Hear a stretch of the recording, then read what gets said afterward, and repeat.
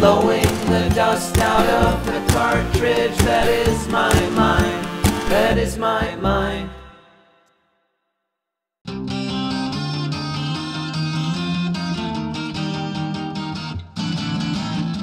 When I was just a little game Jew, I didn't know what madness was, despite the fact that both my parents were psychologists.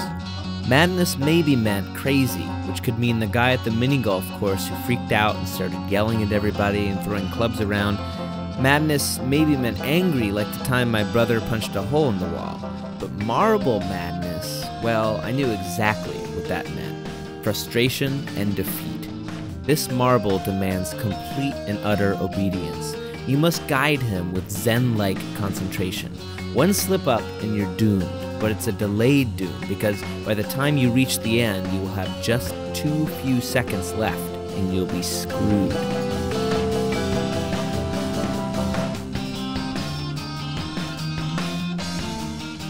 Marble Madness is about the choices that you make and how each choice affects the ticking clock of life. Do you go left or right? Choose perilously skinny paths or bludgeoning black bad balls trying to knock you into oblivion? Do you try to take that shortcut? Are you really quite sure you can make that leap? Go around the green melty acid or try to time it just right and forge straight ahead? Unlimited lives, but the currency is time, just like in real life, and you're always on the brink of being poor.